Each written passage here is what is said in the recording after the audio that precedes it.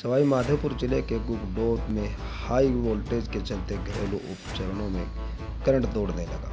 Current इतना तेज था कि केवल कूलर के पास से ही एक महिला की मौके पर ही मौत हो गई, साथ ही एक अन्य महिला भी गंभीर रूप से झुलस गई, जिसे सीएससी बोली से जिला अस्पताल में रेफर कर दिया गया। अचानक ट्रांसफार्मर से,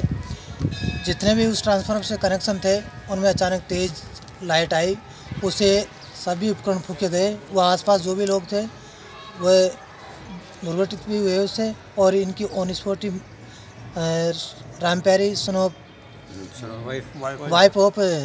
बद्रीलाल गुजर, ये ऑन स्पॉट ख़त्म हो गई और उर्मिला वाइफ ऑफ़ मुकेश रैगर, ये वहाँ ऑन स्पॉट घायल हो गई, उसको लेकर के यहाँ रेफ़र किया गया और अदर जगह पे भी अदर लोगों के भी करंट तेज़ी से आया, जिससे कहीं जगह पे तार टूट करके वायर जड़ गए और ये घटना सुबह छः बजे की है। ये ट्रांसफार्मर में तेज़ करंट आने से हुई है। गुड़ोद के।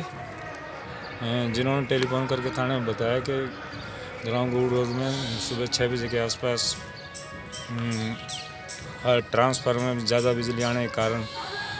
एक महिला श्रीमती राम प्यारी वाइफ ऑफ़ बद्रीलाल गुजर जो कूलर के करंट कूलर में ज़्यादा करंट आने से उसकी ऑन स्पॉट मृत्यु हो गई। एवं एक अन्य महिला, उर्मिला नाम की, वो भी कूलर की चपेट मारने से घायल हुई, जो इलाज चल रहा है जिसका सीएससी बोली में